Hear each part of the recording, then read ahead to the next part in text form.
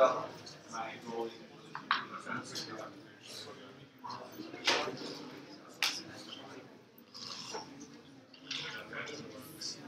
So this was great on the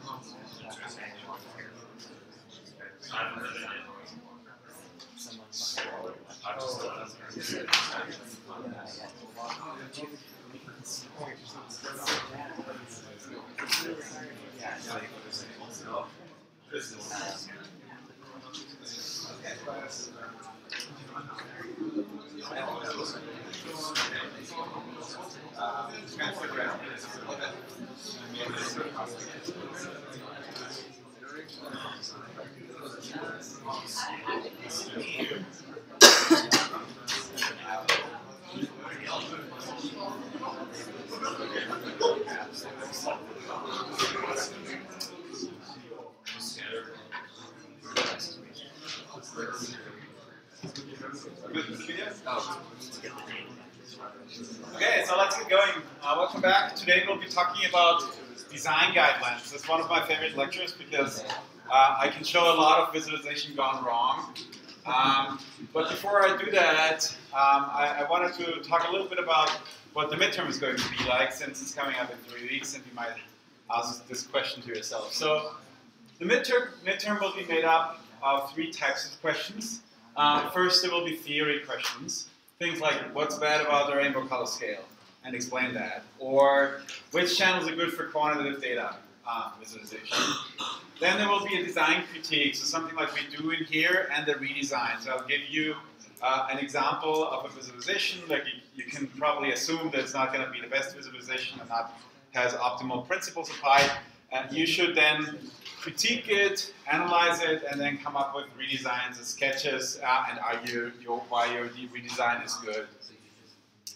And then um, there will also be conceptual questions about HTML, D3, and JavaScript. Things like uh, how does data binding work? How do you access the data in a selection?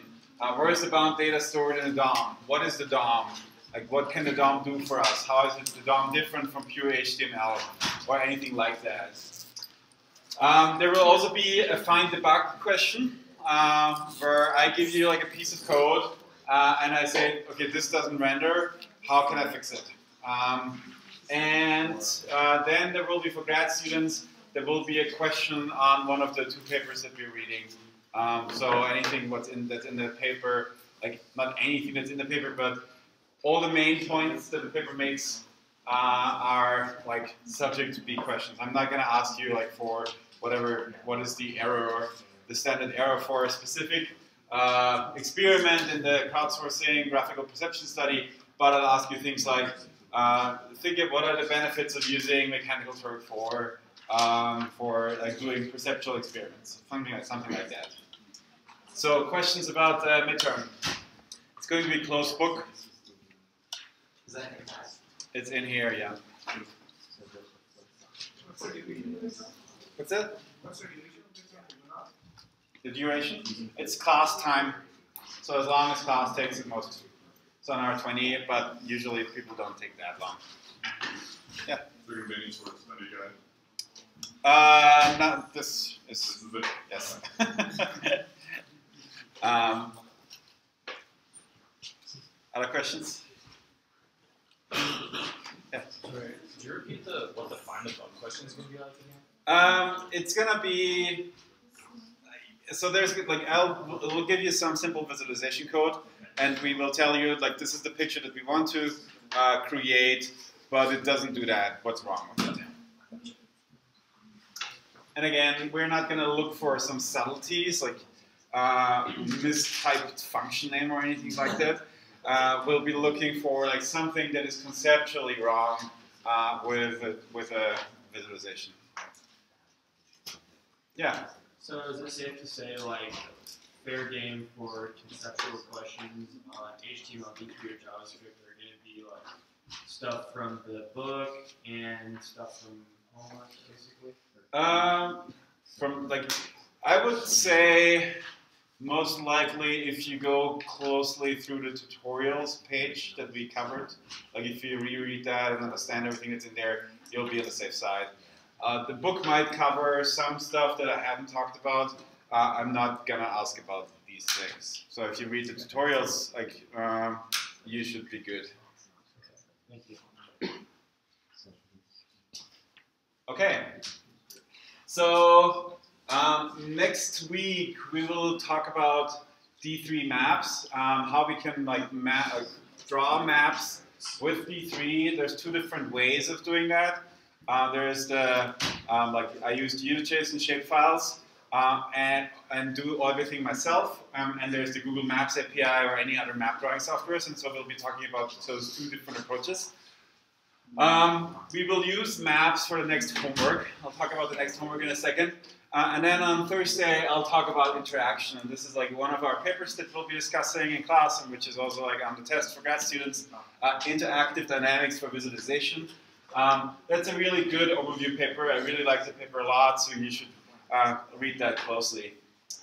Um, so the next homework, this is the next homework.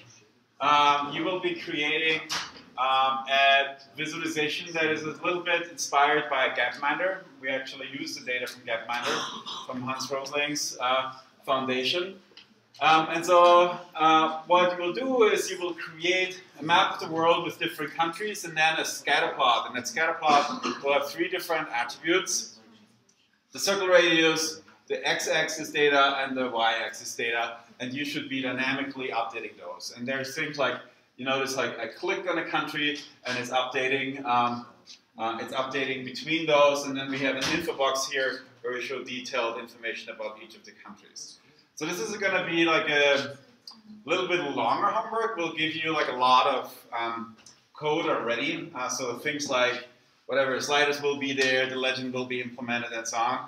Uh, so, but it's going to take a little bit of time, um, and you should be able to do this part and all of this here basically today. Like we have covered everything that you need to know about those things.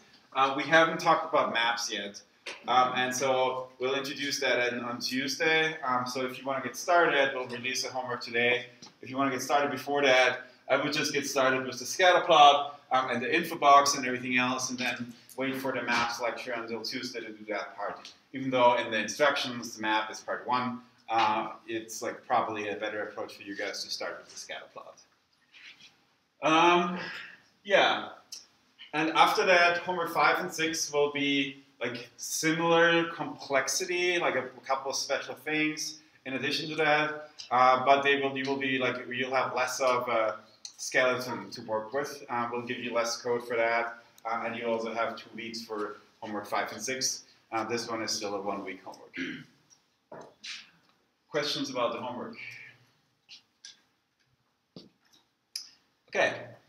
Um, great. So today we'll talk about design guidelines. And so what do I mean by design guidelines?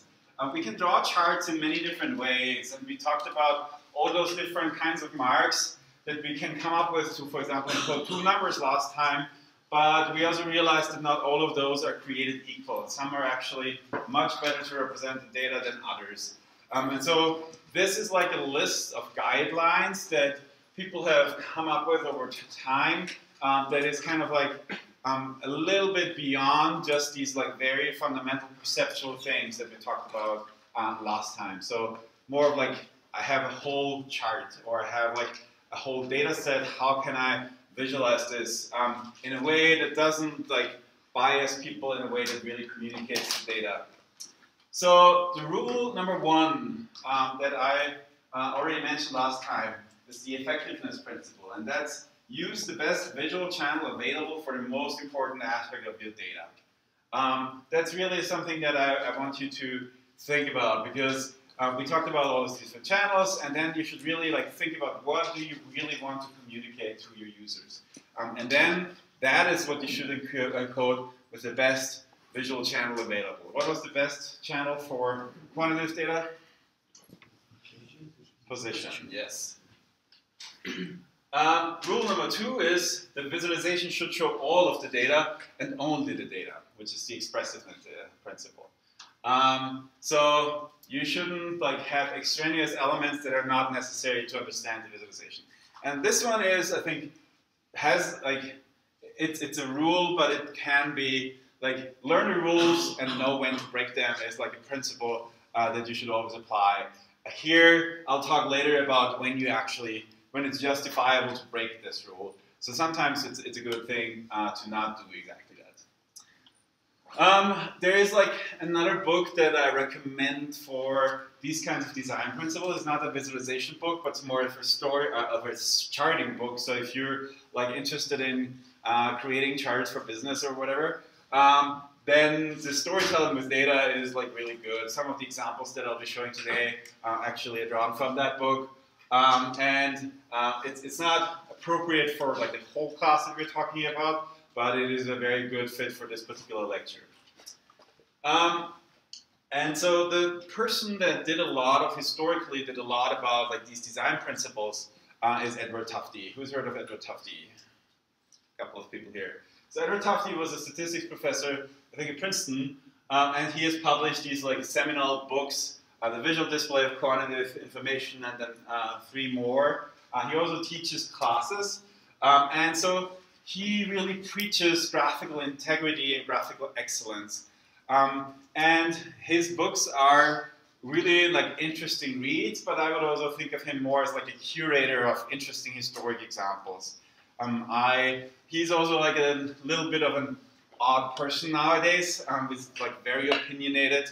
Um, and like his, uh, he teaches like these uh, visualization workshops, and they don't necessarily get great reviews, but I definitely recommend uh, like reading his book. But this shouldn't be the only visualization book you ever read. So if you have read others, then you should also consider reading those. Um, and so his principle here is design excellence. Um, he talks about well-designed presentations of interesting data are a matter of substance, of statistics, and of design. Um, he is also the creator of sparklines, these like small inline line charts. Um, here is an example of sparklines um, in um, for the 2016 presidential election, how the chances of the two candidates have shifted over time.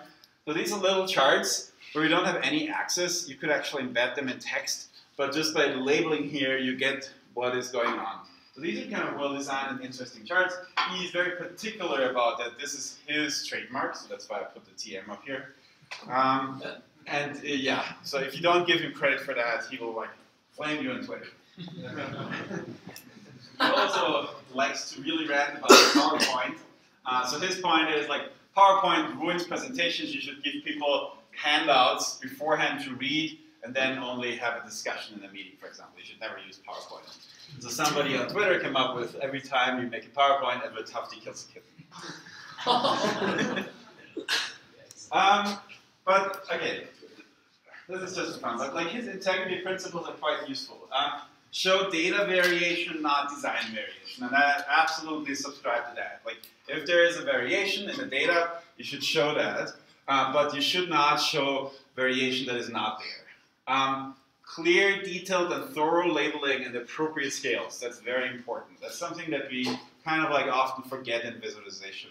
Uh, when, we, when we build a visualization technique, um, the legend or the labels are easy to forget. Um, the size of the graphic effect should be directly proportional to the numeric quantities. Um, that is a very important rule. We've seen this rule broken in a couple of examples. Um, and he calls this the lie factor. And directly proportional doesn't mean that you can't do it like things like a log transformation, right? But there should be like some reasonable proportionality. So the lie factor is the size of the effect shown in the graphic divided by the size of the effect in the data. And so if you're not lying with your chart, that is going to be 1. Uh, but here is a, uh, uh, well, yeah, the magnitude in the data must correspond to the magnitude of the mark. So here's a chart um, you will see a lot of Fox News charts today. Um, if Bush tax cuts expire, uh, what does this chart tell us? Like this is now, and if they expire, we have this. Four times. So much more. So suddenly, we'll all pay taxes like crazy. Um, and so we can actually analyze the lie factor. Actually went in and measured those quantities here. Um, and so if we do that, we'll find that the effect in the data is a factor of 1.14. So like after uh, January uh, 2013, uh, we will pay 1.14 uh, as much taxes as we paid before. Um, the effect in the graphic, though, has a factor of 5. So we can calculate the lie factor as 5 divided by 1.14. The lie factor of this chart is 4.38. This is, like, of course, illustrative, um, but yeah, uh, the point I want to make, um, this is a misleading chart. This isn't really trying to faithfully communicate something. And we'll talk more about why this is misleading uh, in, a, in a second. Uh, so here's the actual charts if we started at zero. Um, and that's, of course, much more nuanced. Um, but of course, like starting at zero is not always the right thing to do. So you could, for example, here use a baseline of like average taxes um, that um, US citizens have paid over the last 50 years or something like that, right? You don't have to assume zero taxes is the baseline. Um, here's another chart um, that I like. This is from an Austrian newspaper, um, and this, this, is a tabloid, like a pretty right-wing populist newspaper. Uh, and so in Austria, there is something that's called like a minimum income, like essentially like emergency uh, social security funds. And so this chart shows you um, how many people get this minimum income and where they're from. And here we have Austrians, then we have like people who we don't know the citizenship from, then we have Turkey, Serbia, Syria, and so on. And so clearly this chart, what is the, the message of this chart? Foreigners are taking our Exactly, the foreigners are taking our money. Um, and so what's wrong with this chart? Austrians are like. Yeah, so if you look closely, the labels are correct, right? There's 101,000 Austrians to take this, and there's 16,000 people from an unknown nationality. But the chart doesn't show that. The actual chart doesn't even fit on the slide here. this is the faithful chart, right? And so here you suddenly see, uh, like this is, yeah, sure, we, we, we're spending social security money on like things like asylum seekers, but in comparison to how much we're spending on Austrian citizens, it's really minuscule. Um, and so if you pay attention, um, especially if you look at biased news sources, you will find these kind of things a lot. Um, here is an even more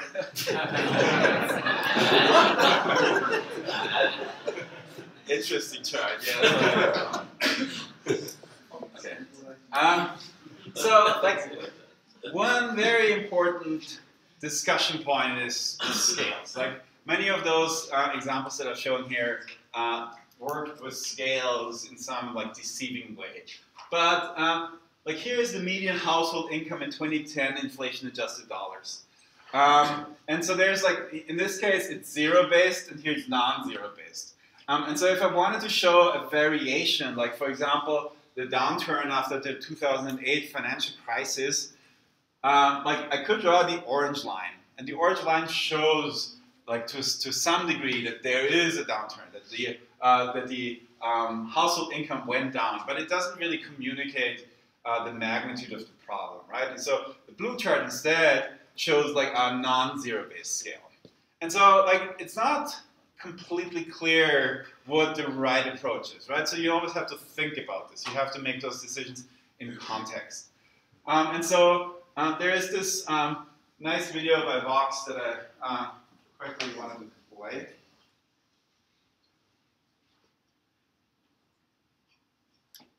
This place isn't for me. The last place was pretty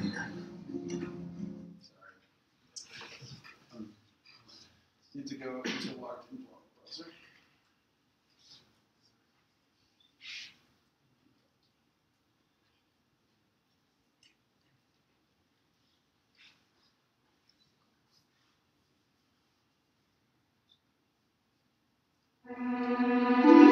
We make a lot of charts at Vox. And of course, charts have axes. And pretty much every time we run a chart y-axis that starts anywhere other than zero, someone winds up emailing to See, there's a really famous book called How to Lie with Statistics, and it contains a discussion of how you can create a misleading chart by messing with the y-axis. And it's definitely true, you can do this. Here's a chart from Fox News, for example. It's a total disaster. Um, But the y-axis dogmatists take it way too far. The big problem with people who lie with statistics is that they're lying to you. It's true that misleading charts are one way to lie, but the English language is also a tool that can be used for lying. And that doesn't mean we should never speak English. Sometimes you need to fiddle with the y-axis to tell a story properly. So for example, right now, the share of American adults who have a job has fallen to a generation-long low. It's a really big deal. But if you chart this data with the y-axis at zero, you can't see the change at all. Narrowing the range to dramatize what we're talking about isn't lying with statistics, it's emphasizing what's relevant. The way Edward Tufte puts it is you need to use a baseline that shows the data, not the zero point. And after all, zero is just a number, like any other. Sometimes to make sense of the data, you need to be able to show numbers that go below zero. Halting at zero in those cases doesn't make any sense. But extending every chart way below zero would be crazy too. And of course, where zero even is depends on the units using. If you do a chart of a person's temperature in Fahrenheit, you're likely to miss the fever if you zoomed all the way out to zero. If you redo it as a Celsius chart, it's not quite as bad. But if you switch to Kelvin and extend everything to absolute when people are really lying with charts, the main thing they're normally doing wrong is leaving out the context, not leaving out the zero. Go back to that Fox News chart. You never know from this chart that the top marginal rate was 39.6% back in the Clinton administration, or the Reagan administration was 50%, or that back when Eisenhower was president was 91%. The missing zero was really the last of chart's problems. What they left out was the entire history of taxes in the United States. So just remember, y-axes don't lie to people. People do. So.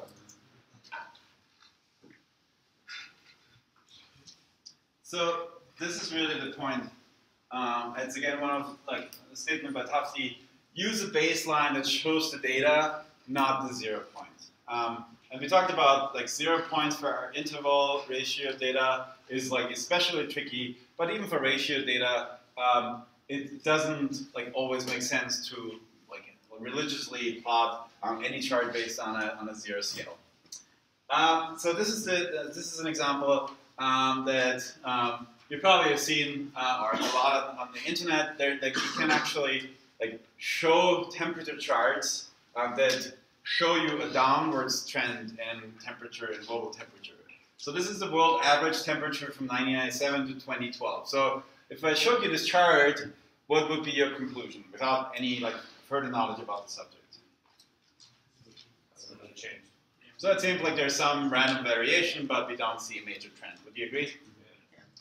So um, this is actually the chart that put in a little bit more context. So we can see, like if we fit like a trend line here, there's a very slight increase. Uh, but then here, this problem is again not like a zero chart. It's actually, again, this like leaving out context. And so here would be the chart if we start in 1961 instead of like um, here we started in 1999. Um, so if we start in 1961 and then we fit a trend line, that story is much more convincing, of course. Um, and we can go back further, right? But uh, and we always need to be faithful or honest about uh, like why and how we pick those data points, and that's what goes into the figure caption or the fine print, so that somebody can scrutinize your chart and make uh, make sure that you did the right thing. Um, and so here is actually an interesting blog post, and I added this to the recommended readings for this to, for today's lecture. Um, this is about basically p-hacking with visualization. Um, how can we like present data or cherry pick data so that we can make a point that we want to make? Um, so here we start out with like the um, a chart of the U.S. average temperature from 1900 to 2020. Uh, but then basically this person starts to cherry pick uh, and explains in detail what, what he does. Uh, but then by finding the summer average maximum temperature uh, from 28, 1918 to 2018 at all US historical climatology network stations, he will find a downward trend. Um, and there's many reasons why he, like how he arrived at that downward trend. One of them is that we have more, uh, more temperature sensors now in more remote locations, which are mountainous, for example. Uh, and he just doesn't average those and doesn't take account of like where those places are and so on. And so this is like a, a really good exposition of how you can cherry pick um, with visualization. So I do encourage you to read this. Here's another chart. What's wrong with this one? This is how uh, temperature, how 2012 stacks up, the warmest year in record.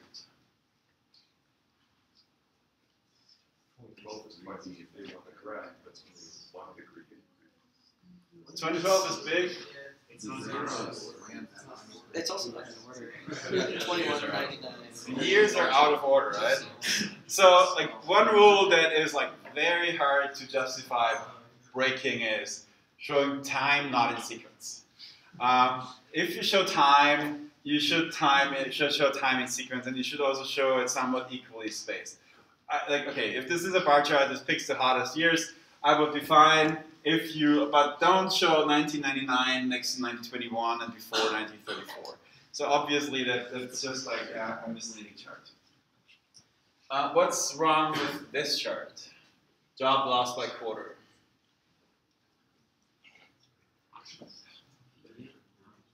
The um, the units of time are not uniform. We have from December, so we got nine months, and then we have six months, and then we have three months. But their spaces, they are uniform units of time. Yes. Uh, and the other thing is that this person just wanted to draw a straight line in instead of making a more complex curve. Uh, so this is the actual figure, uh, where we have job loss not by random quarter, but by uh, the when when this uh, the, the labeled data plotted in this case. Um, and so you can see that there is like a, a, a discontinuity, uh, in, in this chart. And this one is actually the most bizarre that I've ever seen. Uh, the Republican presidential primary schedule. Um, here you have states, and then here you have days of the month, and then color coded the month. Yeah, it's somebody made this chart. Um, so don't visualize dates or time like this. Even though this visualization, like, it uses bar charts, it uses position, right? Uh, it seems like all of these like fundamental principles that we talked about when we talked about marks and channels are followed, but still, it's one of the worst charts imaginable. So even if you draw a chart using all of the principles that we learned so far, um, that could be misleading. So which value, like I'm assuming that this bar here um, visualizes a distribution. So I've run an experiment, I've tried, I've asked um, 100 people what the value of something is, um, and this chart, this bar represents the mean. Uh, which value do you think is more likely uh, to be in drawn from this distribution, A or B? Who's for A? Who's for B? Okay, so like, I would say three times or four times as many people think it's B than A. If we actually plot a line to measure that and move it up there, we'll see they're exactly the same. And so what, what you've just seen happen live here is what's called within the bar bias. Um, so we tend to, like if we draw a bar chart like this, and that represents a distribution, then we tend to perceive, like then we tend to perceive it, uh, data values to be more likely uh, in within the bar. And that is a big problem because if you look at statistics reporting, we very often see bar charts with error bars. And those are actually really misleading. Um, so um, we can plot the data faithfully, but still perceive it wrongly. This would be a different way of, of uh, plotting this data, right? And so here we show the median, uh, and then we show those two values that are drawn from this distribution. Um, and here, like, the, people wouldn't say A or B is more likely. They would say this looks about equally as likely. And so people have actually studied that. This is like an experiment from um, Christoph um, Pentoni and uh, Dale Berger, uh, where they ran a study of these biases. Um, they had like a bordered shaded, uh, not shaded, no border, and just these arrow bars. Um, and they gave people questions like I just did with you guys. Um, and you can see that everything except for interval only um, kind of like resulted in uh, estimates that are off the true mean of the distribution. Um, so if you like run, like report on statistics in some way, uh, you should like of in a distribution, you should usually use like a mean. Um, you shouldn't use bar charts to represent the distribution, and even the error bars are not helping. So you can plot like a line.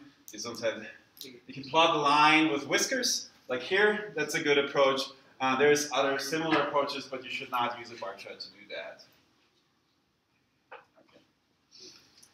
So um, one other thing uh, that, like, from a perceptual point of view, uh, plotting a trend line can be helpful, but at the same time, like, we are actually quite good at spotting these trend lines as humans. So this is like another experiment that was recently run by Michael Correll, um, and he asked people to dynamically adjust the trend line with a slider, um, and then he evaluated how closely the trend line fit for different conditions. Um, and it turns out that um, humans are actually quite good at fitting a trend line like this, like very, very narrow error ranges. Um, the errors increase uh, as the like correlation is more, um, let's say, more noisy. Um, but uh, overall, we are pretty good at doing that. Uh, we're pretty good at doing this for linear trends, for quadratic trends, but even for some trigonometric trends.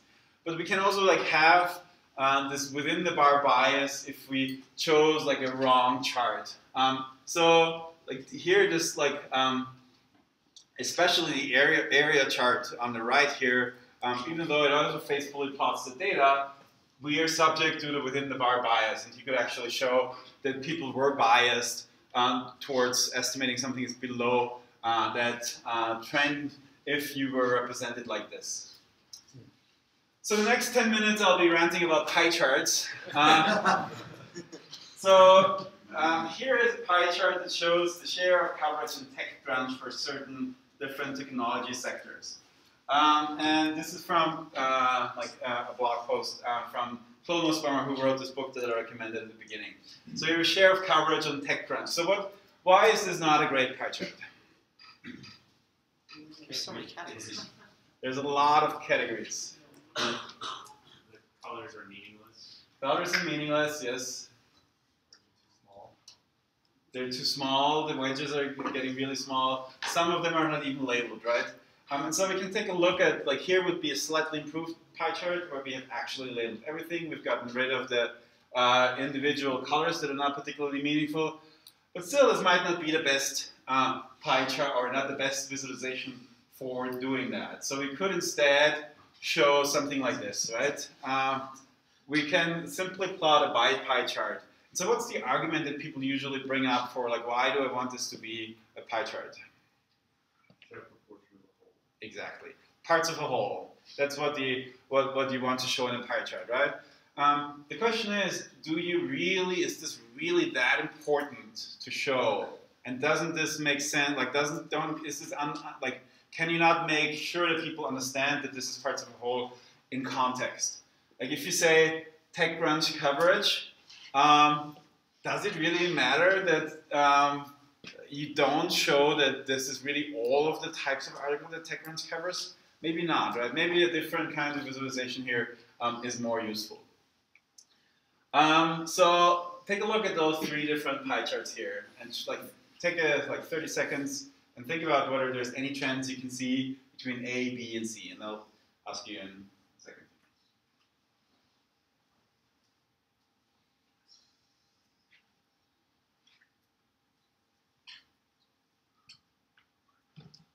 Anybody spot a trend? Yeah. They're rotating. Is that relevant for the data? The black. Black is smaller. So black is smaller in C and also in B. Red is So we've now spent about like a minute thinking about this bar, pie charts, um, and and we're still not completely sure what the data is that we're showing. Uh, if I plot it as line chart or as bar charts here, um, I can clearly see what is going on here, right? This is very easy to spot. We see like an upwards trend from one to five here, like probably like random trend uh, from one to five in the middle, and a downwards trend from one to five in the other chart. So these colors are not great, um, but uh, generally the bar charts here really communicate um, a, a, trend, whereas the pie charts are really hard to. This is a pie chart I like. Uh, um, and this is another pie chart I like. So, so one thing that pie charts are particularly bad at is, is at doing these kinds of comparisons. So here is a, again from, from Cole Nussbaumer's book, uh, here is a, um, an example of uh, a study on um, school kids, whether they were interested in science before some kind of seminar or some kind of like experience uh, and afterwards, where like there was some science or STEM promotion event or whatever. Um, and so students initially said like, how do you feel about science? Bored, not great, okay, kind of interested, excited. And we see, okay, it makes up at 40%, and then it makes up uh, about 14% after this event. Okay, so this, this chart is faithful. Uh, it doesn't show us anything that, like, it doesn't lie in any way, uh, but it doesn't use an ideal visual encoding. So let's, let's look at a couple of design alternatives for that. So we can simply say, after the pilot program, 68% of kids expressed interest towards science compared to 44% going into the program. Like we can simply state that, right? This makes the same point as the chart mostly. It doesn't convey all the data, but it's like a faithful representation, and it's maybe a little bit more efficient in making the point in the pie chart. Uh, we could also do like a, like a full on plot of exactly the same data as we had in the pie chart with bar charts. We could say, basically there were a couple of people that found this event really boring, uh, and, and so the bored chart even increased slightly, and also the not great chart increased slightly, right? But the big thing is that people who didn't really care suddenly started to care. and that's something that you can see from that chart. And so this uses bar charts, and again, it's a pretty like decent way to encode that data. Here's another alternative. Um, I can do stacked bar charts, and I can do some grouping. Um, like that's kind of common to uh, in, in like many sciences or social sciences, especially to kind of lump together a couple of categories. Here we have blue for kind of interested or excited, okay, gray, and dark gray is bored or not gray. And so here we can see clearly the proportional shift between the okay uh, and the kind of interested and excited um, people. And then another way to visualize this is the slope chart. And these slope charts are actually, I do like them a lot for kind of like discrete time points and for making comparisons uh, for these discrete time points. So here we see the slight increase from people that were bored uh, uh, or that didn't find it great, but we see this like um, massive increase uh, from like uh, excited people from 19 to 38% and this massive drop from 14 to 14%. So that is kind of like a, a well-designed chart that shows you exactly the kind of same data. It doesn't show you parts of the whole, right? Uh, but that's not really important for this data set, and it's not really important in many situations. Um, so some more general uh, visualization design principles. You definitely always want to max, well, with some caveats, you want to, like one principle is maximizing the data to ink ratio. So again, let's go redesign this chart. So first, we'll plot it as a 2D chart instead of a 3D chart with all the shading, and we talked about how 3D is a bad idea. I'll talk more about this later. Um, then uh, we also like took this principle to say, well, we also want to remove extraneous visual, visual, uh, visual elements to distract from the message. So we could show this like that. But here are a lot of grid lines. It's quite busy. Um, so we could simply instead remove the grid lines, okay? Uh, that's like a slight improvement. I would say this chart is still quite readable. Maybe I can't read the values as precisely because I lost some of the grid lines. So I could get rid of the background and make it less noisy. I could really get rid of the extraneous frames that I don't need. Um, and then if I want to basically reintroduce the grid lines, I could do those subtle ticks in the bars um, instead of having these like heavy grid lines go through it.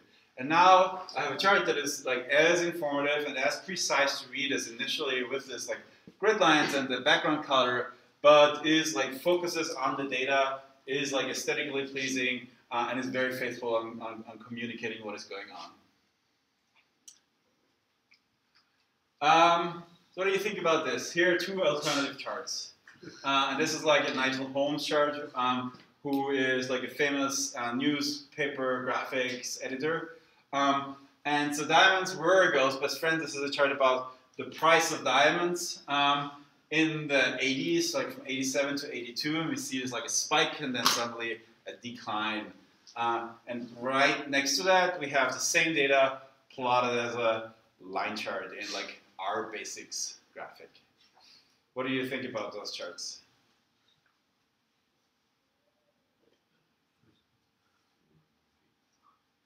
Depends who your audience is. I if it's for a college paper, yeah. the ones to the right. If you're trying to grab people's attention, the one to the left. Yes. So it also it depends a lot on your focus. But what do you think if I showed this to you, um, and I would ask you like two weeks from now, what's the trend? Do you think there's going to be a difference uh, between one of those two charts in, in how you memorize the data, how you memorize the trend? Yeah.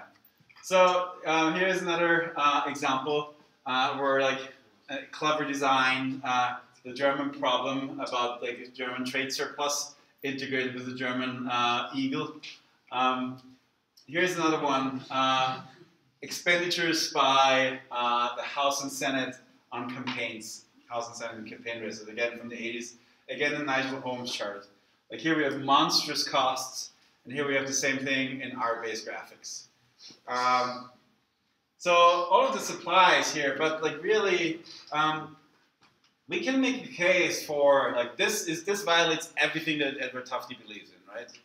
Um, all these design principles of draw, show the data, and only the data um, are like, and here we also have some distortion, right? Just because to make a point about the deep, like the uh, this being a monster and not just like a straight baseline.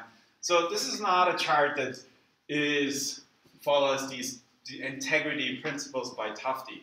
Yet uh, there was a study which was kind of like uh, pretty influential on useful junk, the effects of visual embellishment on comprehension and memorability of charts.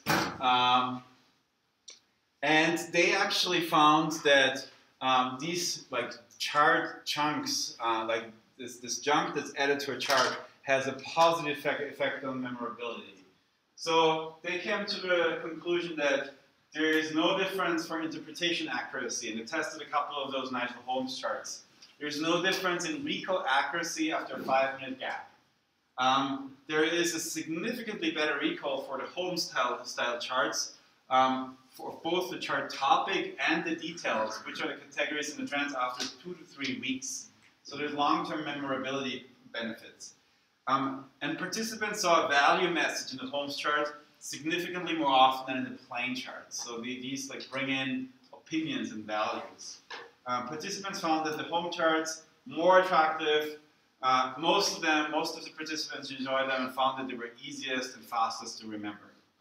Um, so that kind of like um, caused a bit of like a stir in the visualization community, but I think this is mostly um, accepted now. And so uh, whenever you want to do something like this, you should kind of like think about the pros and cons of the situation, right?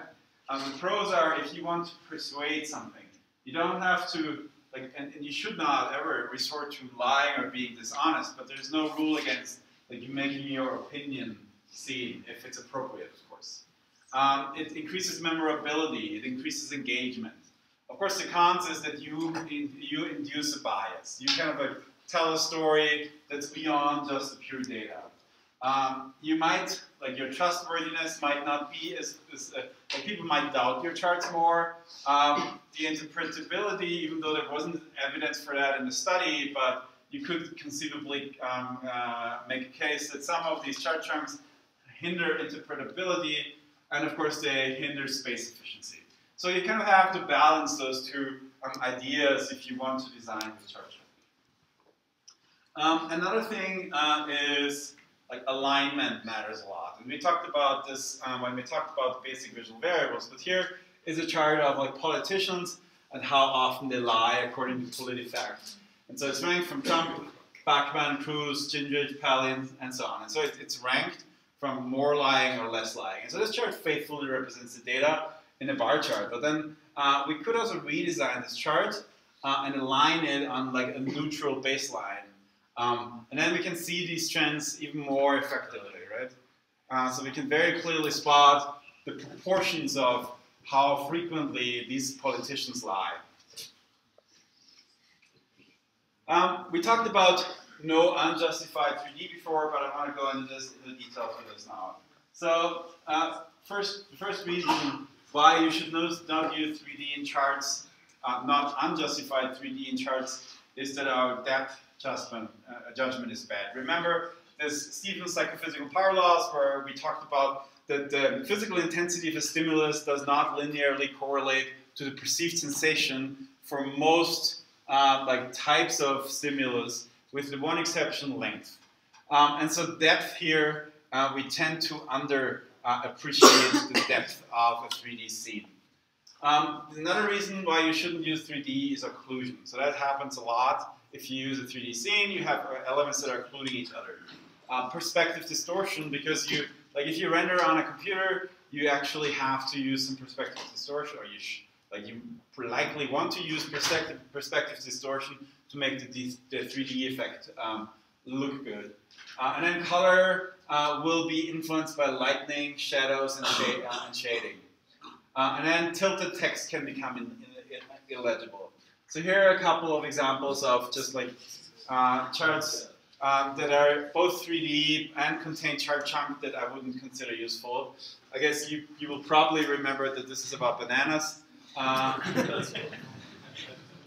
but you will likely not remember much about the data. Um, and all of these other examples are not particularly useful either.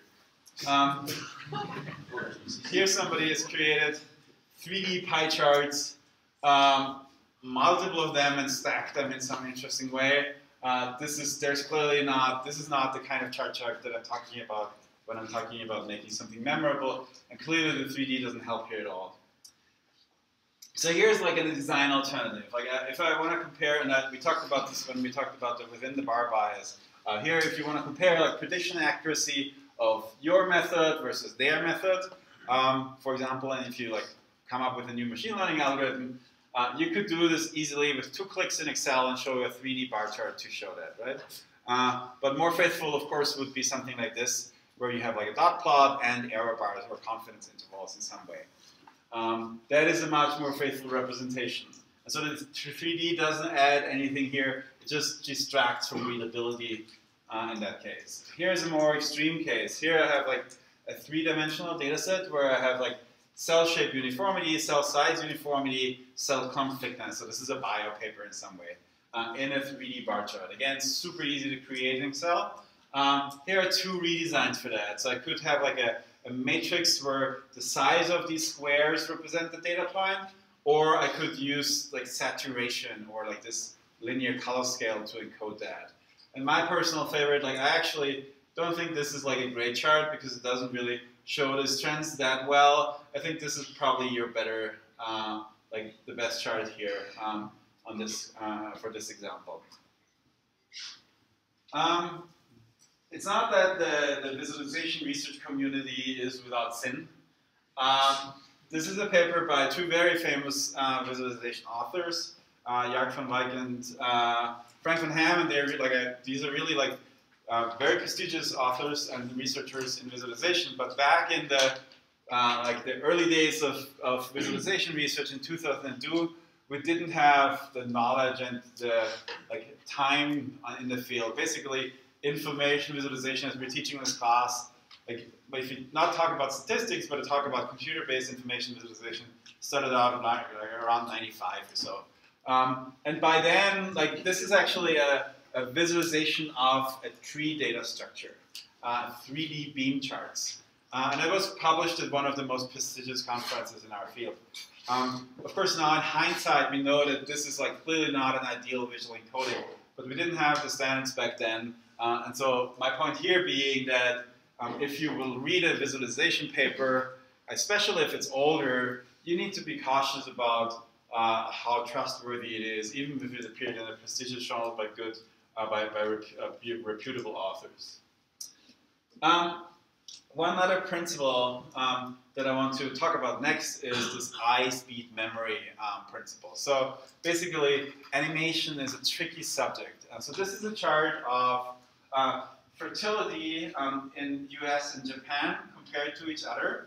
Um, what we're showing here is two things. The uh, fertility, like the birth per woman over time, um, uh, the birth per woman, sorry, um, and then at which age these women gave birth. So the like, total number of births is actually encoded in the area.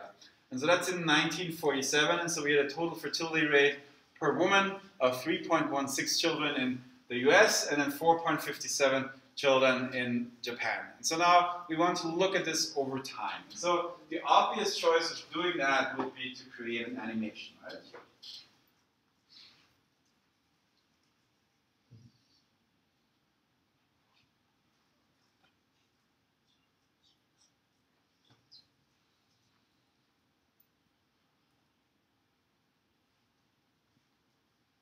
Okay, so we've done come full circle.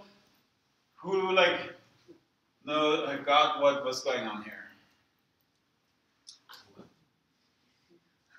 So it was, it, yeah, it's not impossible, right? And we also know that like fertility rates dropped over time, um, and so it, like we can like we can like watch this a couple of times and we'll come to the right conclusions. This is not by itself a bad chart, but it doesn't like this animation makes it really hard for us to compare different time points. Let's say um, if I want to spot the, a, a, time point where we had the greatest change in fertility rates, we would probably have to watch this animation 15 times uh, and really think hard about where do we see a massive change, right?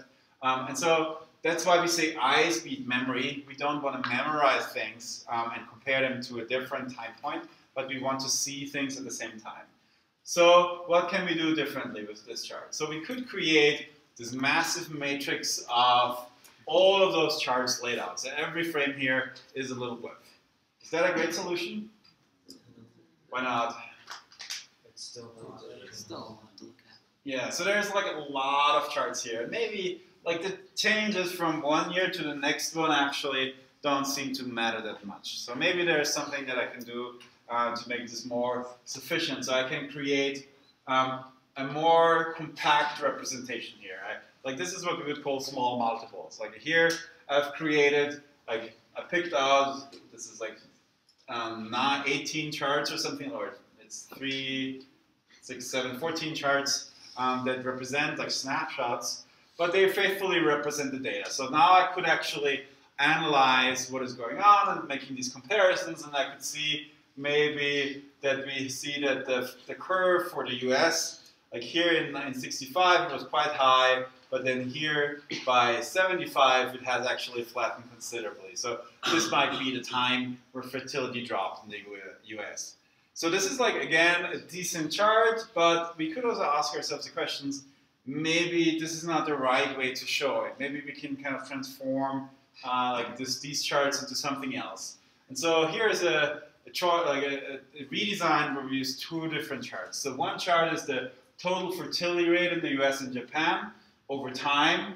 And that is very easy to spot, right? That we had like a very rapid drop in fertility in Japan between 1950 and 1960, but then it was mostly straight. Um, whereas the US had the baby boomer generation here after the war. Um, and uh, then kind of like um, kept, uh, uh, went downwards and is now slightly above, um, above Japan, slowly be, uh, slightly below replacement um, of two. And then independent of that, the question of the average er, uh, age that a mother gives birth is actually quite independent for that of that, right? So it doesn't really matter that much. Um, um, and so here's a different plot for that, and we see that uh, the average age used to be, uh, or in, in, in Japan, uh, is, is significantly higher over time, uh, but we also see these trends at the same time, so that the average age right now in Japan is about 30, um, and in 2010 uh, in the US it's about 28. So these are redesigned charts. They don't show every nuance of, well, they actually probably show most of the data. They don't show the whole distribution in any year, but but they show like probably the message that we want to communicate. Yeah. I was thinking every 10 years, could you maybe do just like the error bar of like one standard deviation for the Yeah, give birth, maybe? You could also just you wanted to show. yeah, you could also show like a hull here, uh, and and define what this hull is. Um, there's also techniques that are called contour box plots uh, that can allow you to that allow you to show like um, these kind of deviations um, in, uh, in, in linear, in time series data or in flow data or anything like that. So there's some advanced statistical techniques uh, to do that. Um, and then like temporal data is, is usually like um, small multiples are, are quite useful um, sometimes, but they're also tricky. So here um, are some companies, uh, and like let's just not worry too much about what the meaning of the axis is. Doesn't say in this chart. It's a couple of companies. They have um, color values. Uh, they have color code. They're color coded the companies, and we have 2010, 2011, 2012. And so we have a small multiple chart at the top, and then two design alternatives at the bottom.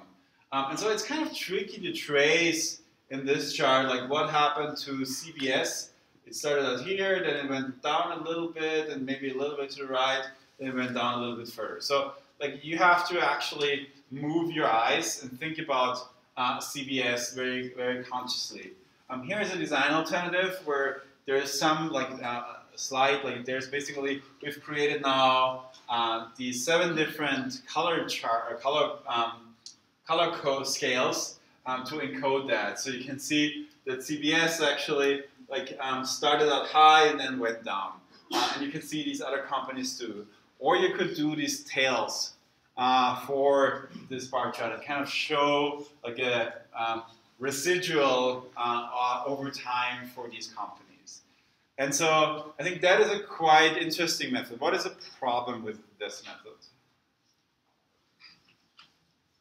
So the tail, the path of the tail isn't necessarily what actually happened. Yes, that's one problem. So we have some curves, like there's some interpolation that could happen.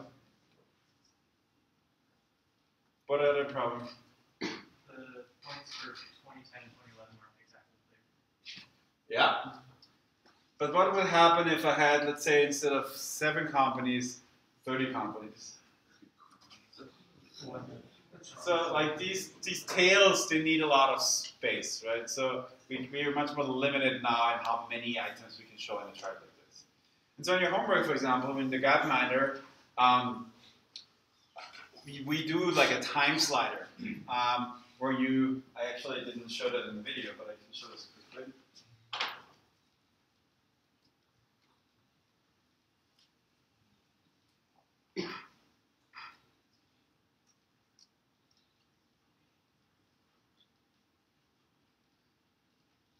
So here we do like this Gapminder style time slider. Uh, I'm mapping total fertility rate versus GDP. And so I'm doing exactly this temporal animation, right? And so this is kind of hard to keep track of. You see these major trends, um, but it's a bit tricky. And so, like, um, we didn't want to make you do it, but uh, in the end, like, having a selected country um, and showing the trail of that selected country would be a pretty cool solution. For one country, you can see the trend, right? It just makes it a little bit more complicated, so we're like compromising here uh, to make it a little bit simpler. Uh, but uh, the proper Gapminder on their website actually has it implemented. You see the path of a selected.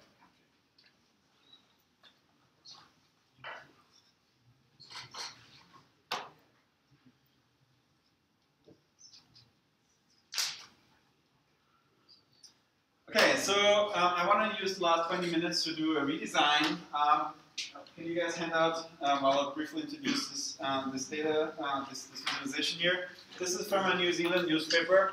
Um, what we see here is, what do you think are the most important problems facing New Zealand's today? New Zealand today, and this is a temporal data set. We have unemployment jobs, the economy, crime, violence, and race relations. And this plot uh, does that over time. And so you'll get your handout soon what I'd like you to do is first do an analysis of this chart um, and then come up with two redesigns.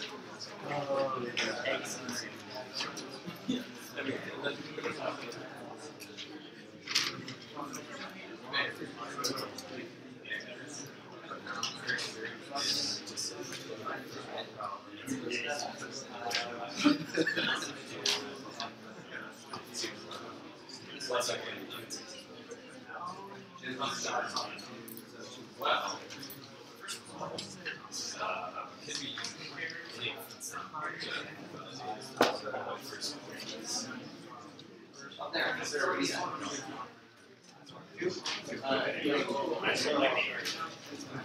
Is there? I don't have any. Uh, yeah. Two.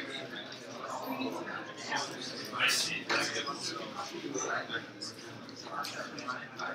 Right. For me, like it's extractor was trying to analyze these two. Well, maybe that's the point. I think that's it. Anybody not have one one?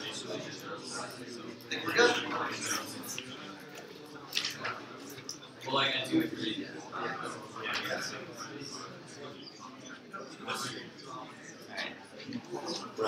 Playing. Right.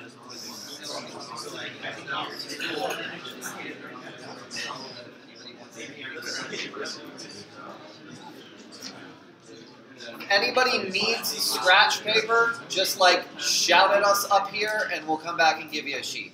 All right?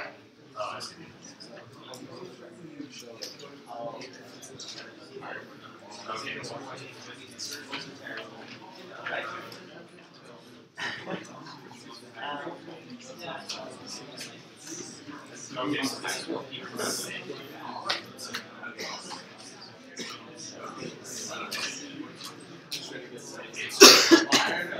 no,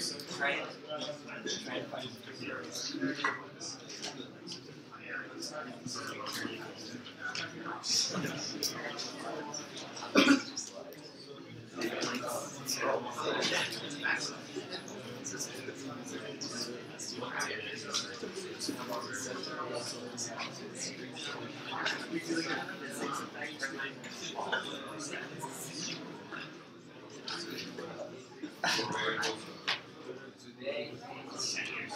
seven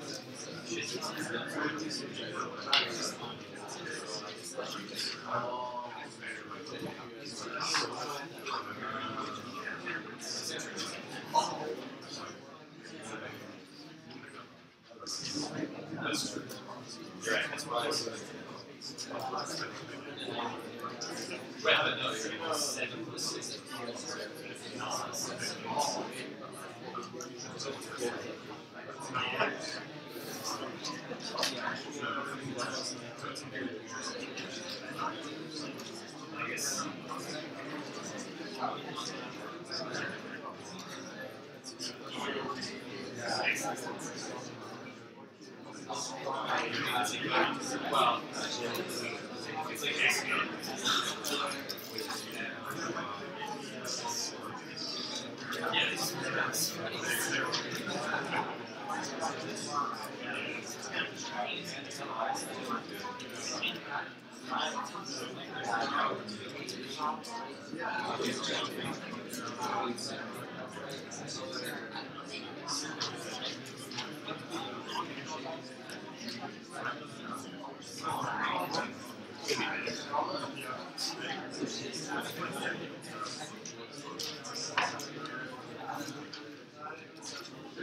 you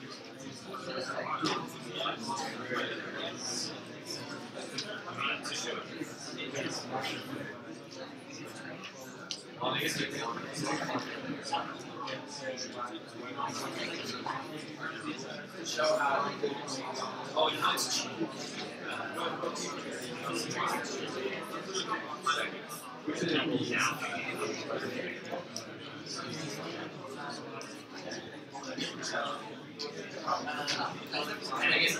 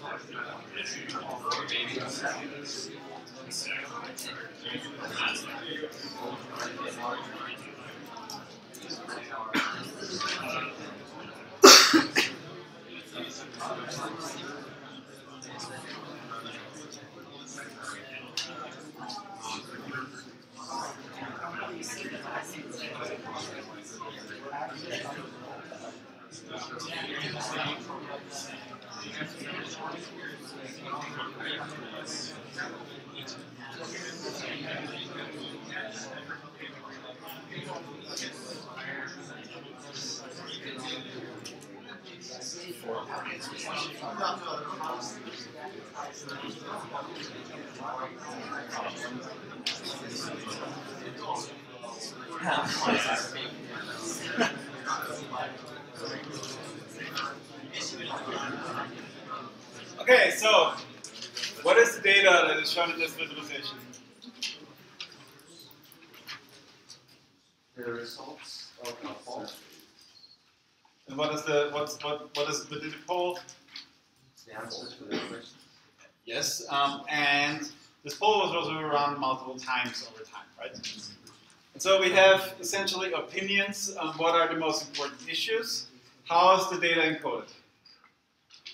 Like what, what, what data types do we have? So we have time series data, but also we have these different questions. Right? So how is this data so.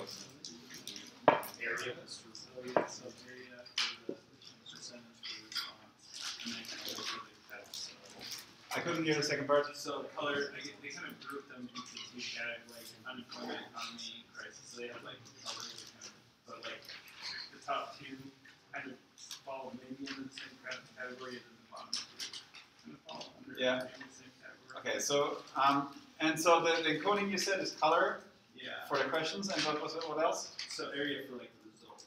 Is that true? Radius or radius. It's radius. Yes. Uh, and so remember last lecture we talked about how deceiving it can be if we encode the data um, in a chart, uh, in a bubble chart with radius. And so that's also something that you'll have to take care of um, in your homework, for example, because it's quite easy to set up a scale for the diameter. It's a little bit more tricky to set up a scale for the area of a circle. We're actually giving you the scale, I think? Um, so, but just take a look at how, to, how, how we set up the scale so that you don't make that mistake. Okay, so anybody over there is what other other encodings here, or like some other special way of encoding the data? Well, they're, they're including time. Time with label. At least it's sequential, right? um, so why do you think they like the Afro look of these bubble charts? Any, any comments on that? Maybe in this side here of the room. Yeah. I mean, they're putting the smaller ones in front, Yeah. and then they tie, they put the, the flat one in front of it. Yeah, so that gets really tricky. That here, like basically, you have to break your convention. This tells us that this was probably created in Illustrator, not in a computer program, because this case, special case here, is tricky to handle, right? Um, and then another problem we have with these like small, like, like basically we have to have special cases for like starting at three percent, the bubbles get too small to label them inside. Something like that happens frequently, of course.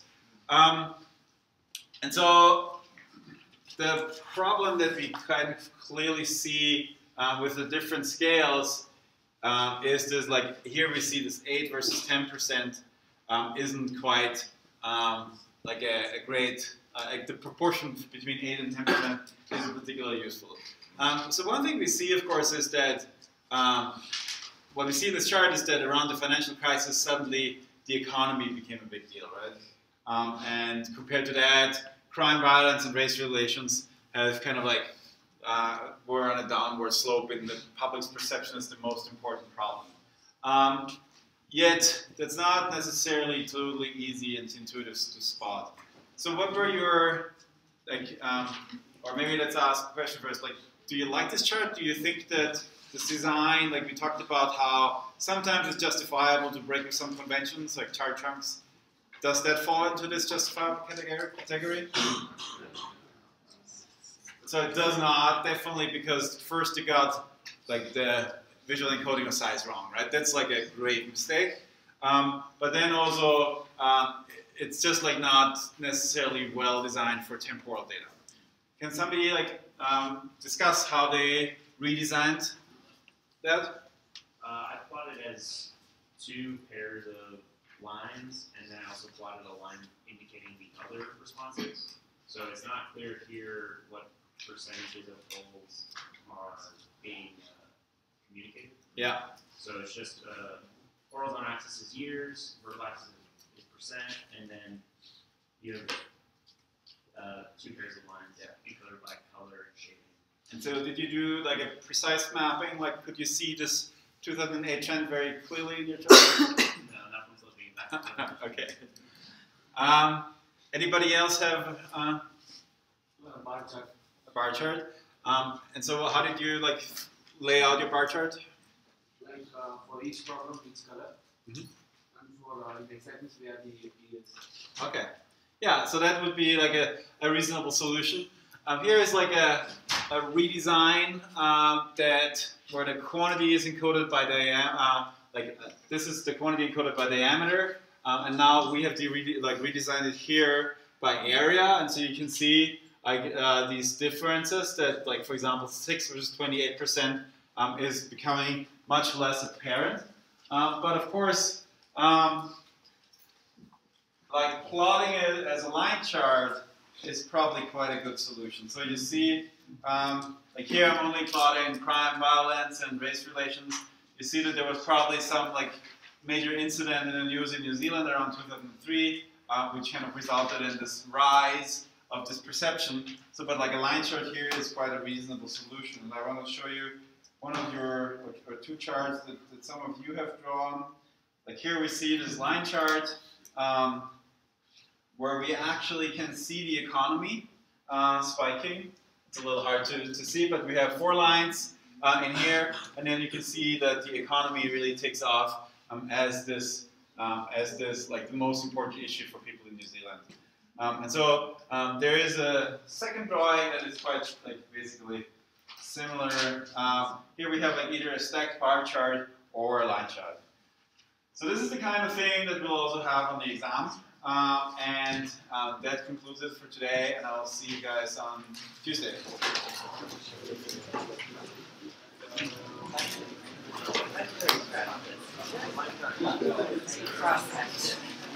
I care.